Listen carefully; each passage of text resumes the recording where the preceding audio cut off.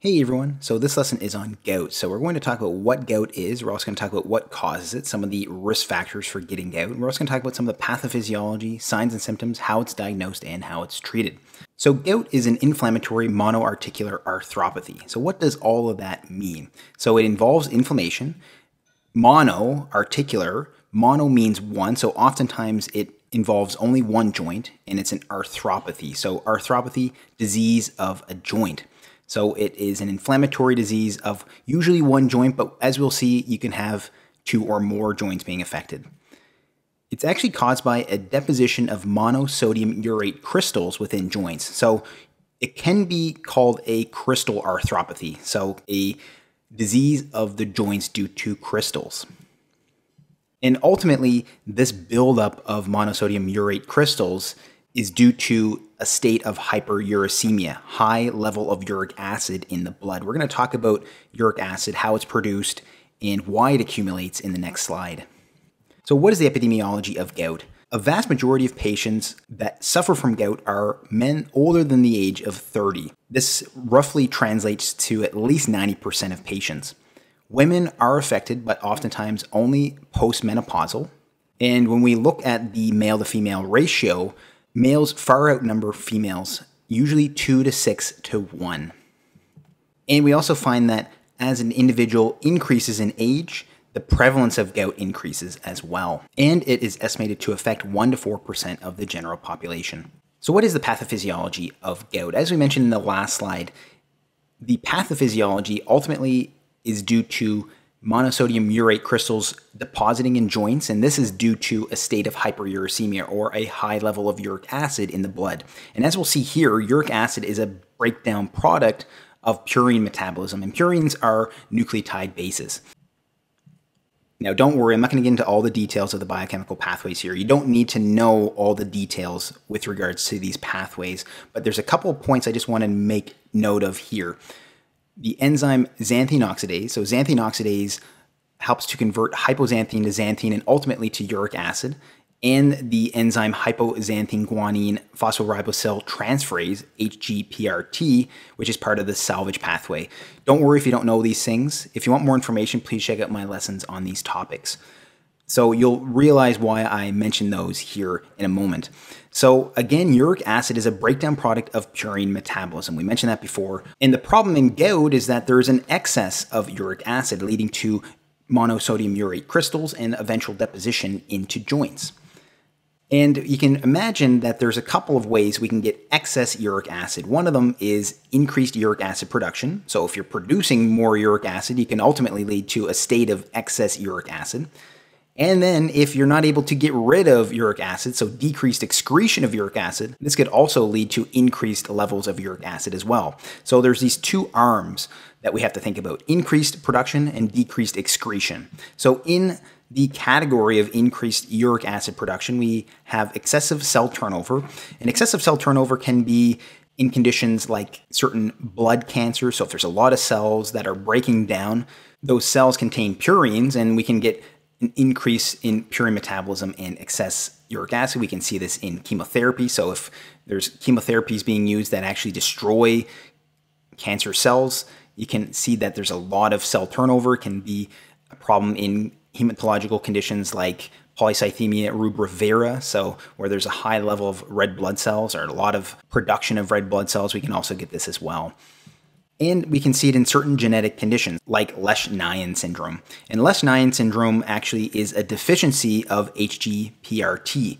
So the enzyme we just talked about in the salvage pathway. So if there's a deficiency in that enzyme, the uric acid is not really able to be processed and reconverted. So we can get this issue with an increased uric acid production.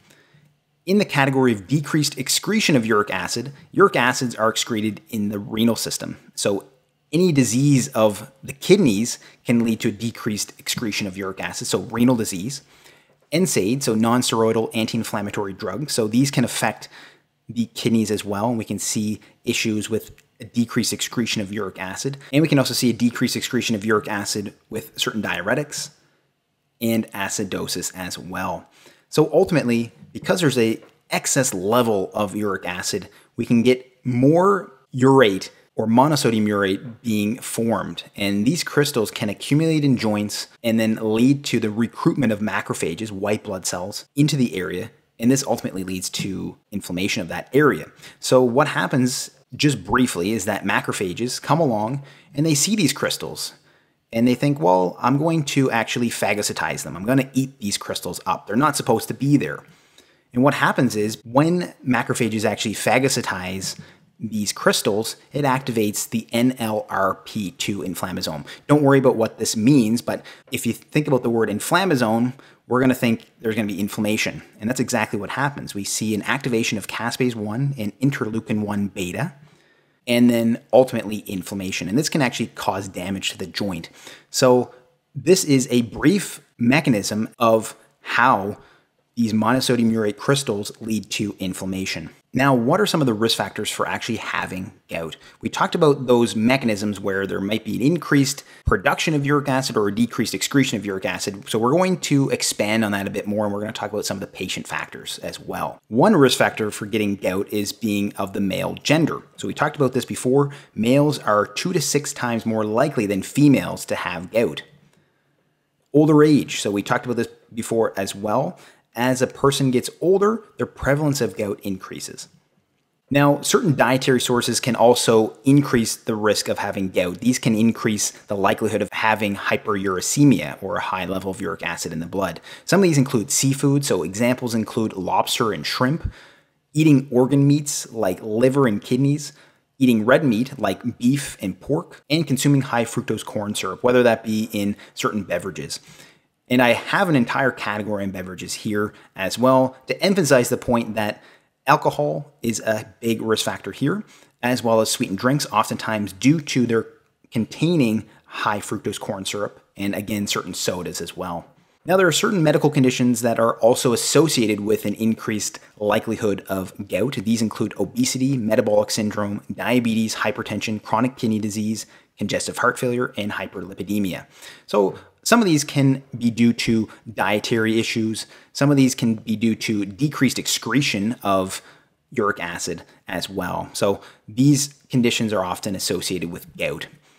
Another category of risk factors is medications. So medications like aspirin, cyclosporin, certain diuretics like the thiazide diuretic, so hydrochlorothiazide has been associated with an increased risk of hyperuricemia, ethambutol, pyrazinamide, and again, NSAIDs, as we mentioned before. And another category of risk factors is genetics. Now, I won't get into all the details here with regards to genetics, but it has been shown that some genes play a role in patients getting gout. So we can see certain genes being associated with an increased risk of gout. So again, you can see here there's a lot of different risk factors for actually getting hyperuricemia and gout. What are some of the clinical features of gout? Oftentimes, patients may have asymptomatic hyperuricemia. So they have hyperuricemia, so they have high levels of uric acid in their blood, but they don't have symptoms. And oftentimes, this can be occurring for years before they actually have the typical symptoms of gout. So, a patient could be experiencing the state of hyperuricemia for a long time, and then all of a sudden, there's a trigger leading to a gout attack. We'll talk about what a gout attack is in a moment, but I just want to talk about the triggers here. So, one of the triggers is cold temperatures, another one is surgery, another one is stress. So, stress can be trauma, or something like a surgery. So this ties in with surgeries. And another one is diet. So if a patient was consuming a high level of alcohol, for instance, like beer, or if they have been eating fatty foods, or if they're taking certain medications like aspirin, this could ultimately lead to triggering of a gout attack. So, what is a gout attack or a gout flare? So we call this acute gouty arthritis. So this is when we actually see this monoarticular arthropathy occurring. There's a sudden onset of severe pain. Sudden and severe, those are the key words here. And oftentimes it has been shown to be an example where it's so sudden that it can wake them up in the middle of the night or can progress in only a few hours and the pain accelerates and peaks within 24 hours of onset. So it's not like typical osteoarthritis, where it's kind of an insidious presentation. This is a very sudden, severe pain. And we see with the joint an erythematous, edematous, and warm and tender to touch joint. So red, swollen, hot, tender. With regards to the joints that are affected in gout, we see that the first metatarsophalangeal joint, so the big toe, the first MTP, so the joint here that is being pointed at, is actually the most common joint affected. And when this joint is affected, we have a special term for this, podagra. So podagra is when the first MTP in the foot is affected by gout. That is called podagra. So this is actually the most common joint. Although we can see other joints being affected as well, these include the knee. So we actually saw a picture of that, a very red, swollen, hot, tender joint here. Ankles can be affected, talar and subtalar joints can be affected, and the elbow, wrist, and fingers can be affected. So many joints can be affected by gout, but we often see that the first MTP or the joint we talked about in the last slide is the most common joint that's affected, and then some of these other ones can occur as well. Tendons can also be affected by gout and bursae. So we can see this kind of deposition of monosodium urate crystals in tendons and, and bursae as well. One of the bursae that become affected is the Olecranon bursa, so the bursa in the elbow. And patients with gout can also have tophi. So you might be wondering what tophi are. Tophi are subcutaneous nodules of urate deposits. So the same thing that happens in the joints can happen in subcutaneous areas as well.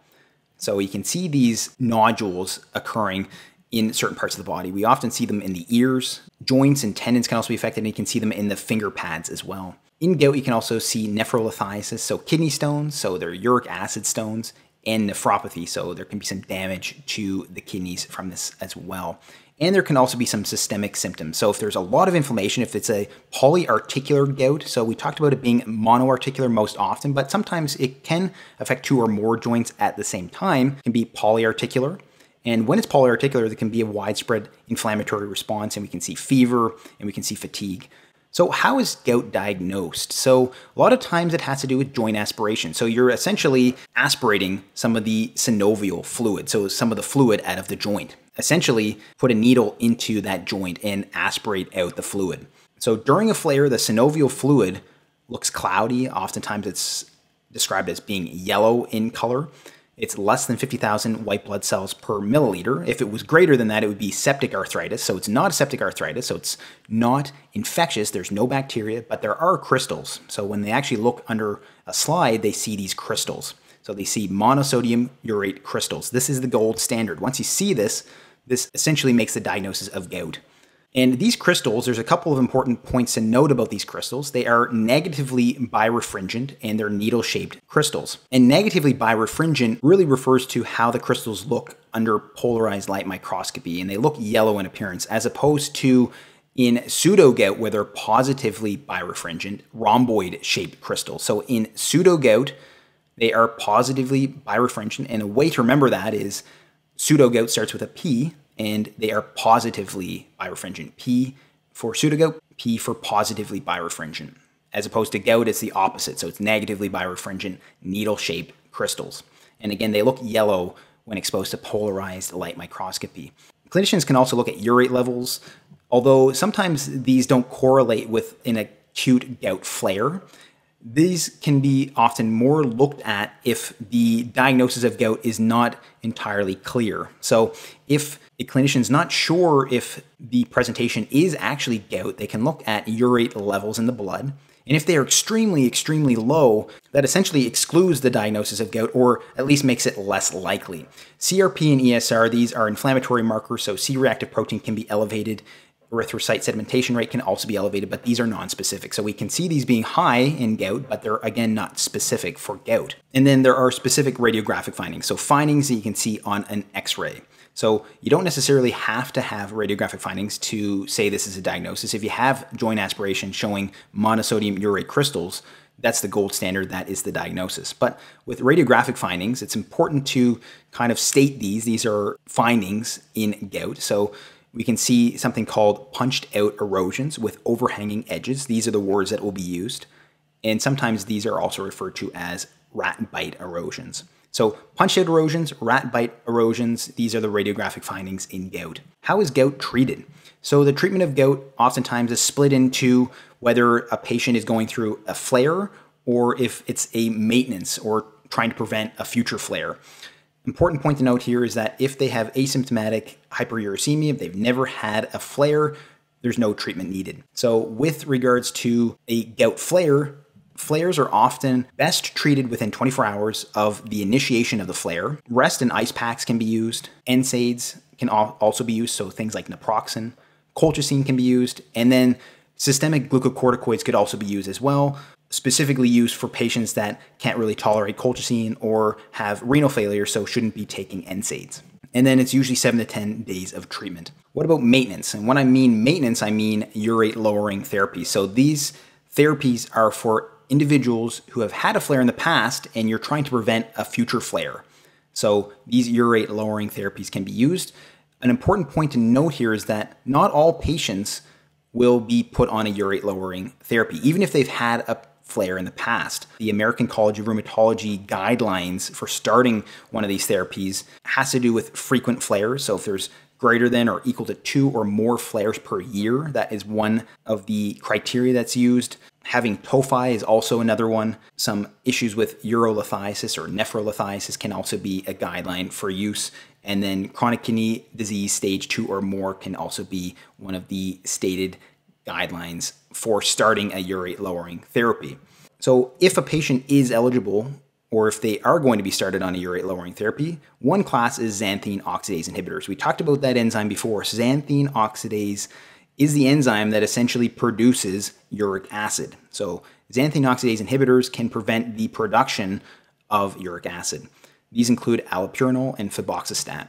Uricosuric is also another type of urate lowering therapy that can be used, and this helps to actually increase the excretion of uric acid. Now, what I really want to talk about is lifestyle modification. Now, lifestyle modification should come before the treatments for flares and the urate lowering therapies. It should come before everything.